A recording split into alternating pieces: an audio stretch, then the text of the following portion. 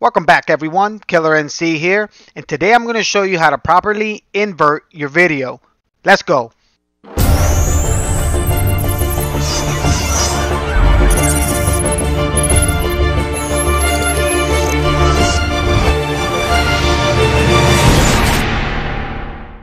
Okay, so recently I started making more unboxing videos. And the way that my DSLR is set up, my videos were coming pretty much upside down. As you guys can see on this image, my arms really should be down here, not up there.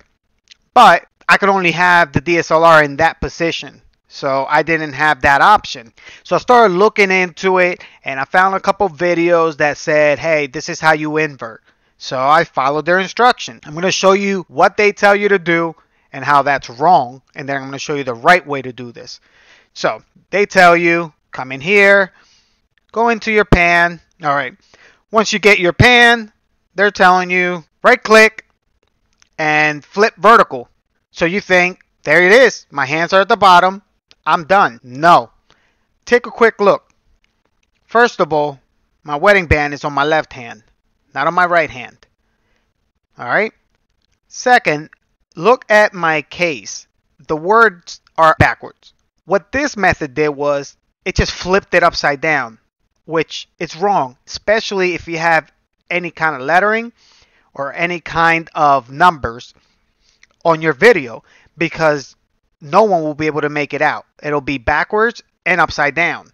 Okay, so that solution really didn't work for me. So I kept digging and I actually started playing around with it myself and I actually found a solution.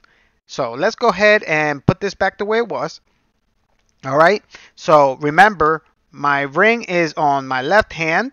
Do this, right click on your video, go to properties, go into media, and you're gonna go right here at the bottom, rotation, and go ahead and click 180 degrees inverted and hit OK. There's my ring on my left hand and my hands are at the bottom as I wanted them to be.